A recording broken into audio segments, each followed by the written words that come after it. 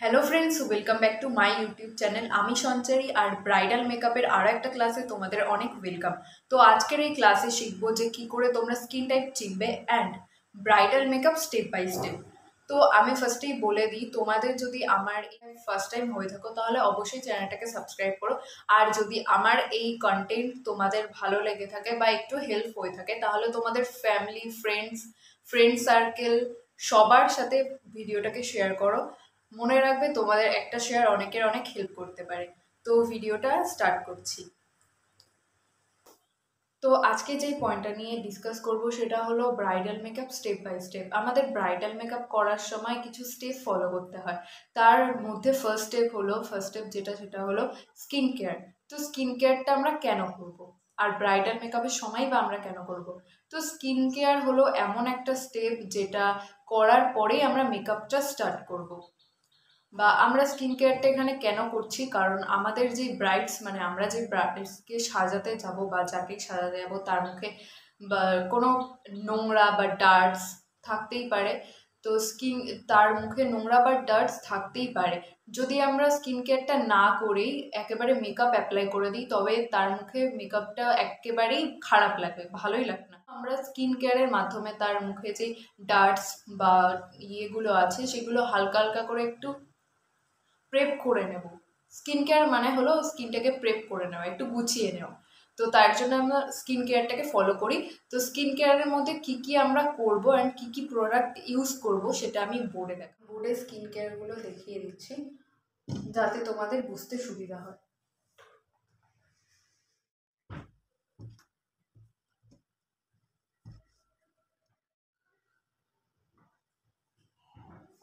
Skin কেয়ারে এক number step যেটা ফার্স্টে করতে হবে আমাদের।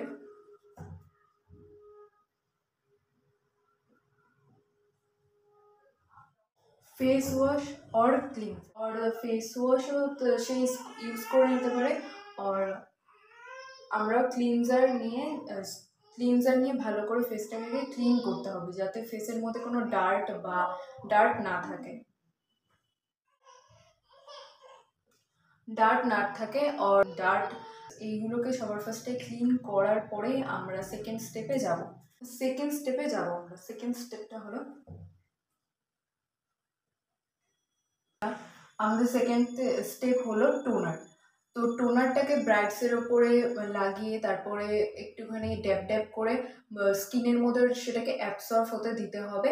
খানিকক্ষণ রেখে দিতে হবে টোনারটা তারপর আমরা থার্ড স্টেপে যাব। টোনারটা যখন অ্যাবজর্ভ হয়ে যাবে, তারপরে আমরা থার্ড স্টেপে যাব।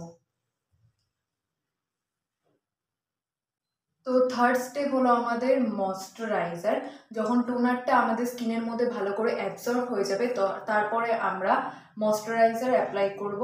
ময়শ্চারাইজারটা আমাদের মাথায় রাখতে হবে যে পরে আরও অনেকগুলো স্টেপ আছে।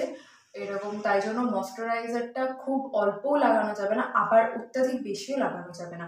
একদম মিডিয়ামভাবে করে আমাদের টি জোনে লাগিয়ে নিতে হবে ময়শ্চারাইজারটা। সেটাকেও ভালো করে ড্যাপ ড্যাপ করে আমাদের স্কিনের মধ্যে বসিয়ে দিতে হবে। সবসময় ড্যাপ ট্যাপ মোশনে আমাদেরকে সব কিছু স্কিনের মধ্যে লাগাতে হবে। নট এরকম এরকম করে জাস্ট ড্যাপ ড্যাপ করে। এটা অনেকটা ইম্পর্ট এটা একটা ইম্পর্ট্যান্ট একটা জিনিস, তো তোমরা এটাকে ফলো করো, আর ভিডিওটাকেও স্কিপ করে দেখো না। যদি তোমরা স্কিপ করে দেখো, তাহলে কিন্তু মেন পয়েন্ট যদি একবার স্কিপ করে দাও, তাহলে কিন্তু তোমরা ভিডিওর কিছুই বুঝতে পারবে না। আর তোমাদেরই পরে প্রবলেম হবে। তো ফোর্থ স্টেপ হলো ফেস সিরাম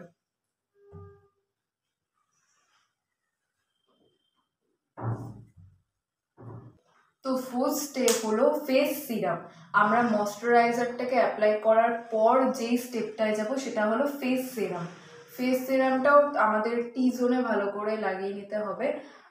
তারপর ওটাকেও সেটাকেও ভালো করে ড্যাপ ড্যাপ মোশনে স্কিনের মধ্যে অ্যাবজর্ভ করে দিতে হবে। তারপরে একটু টাইম দিতে হবে।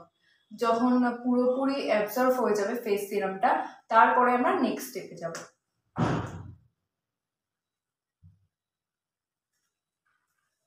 তারপর লাস্ট স্টেপ হলো প্রাইমার